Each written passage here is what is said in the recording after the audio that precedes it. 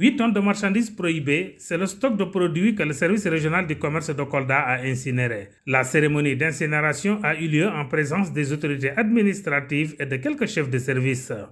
Ce matin, nous avons procédé à la cérémonie d'incinération des produits qui sont impropres à la consommation. Il s'agit des produits retirés par le service régional du commerce de Kolda.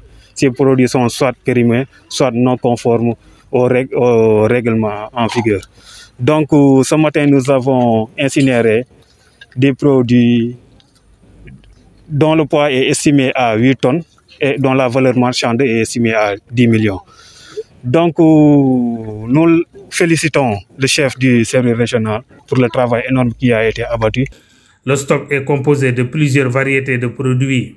Ce sont des produits alimentaires pour la plupart. Donc euh, des produits périmés, comme l'a dit monsieur le gouverneur, des produits contrefaits issus de la contrefaçon, mais également des médicaments et d'autres produits d'origine frauduleuse. Ça, euh, ça, ça, fait partie de nos, de nos missions que nous exécutons tous les jours. Donc, euh, c'est une mission de veille.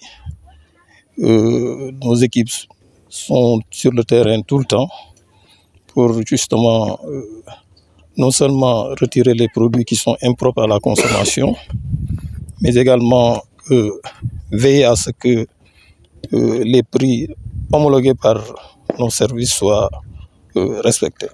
Le ramadan est une des périodes de grande consommation où certains commerçants véreux n'hésitent pas d'introduire dans le marché des produits impropres à la consommation. C'est le moment de les traquer jusque dans leur dernier retranchement.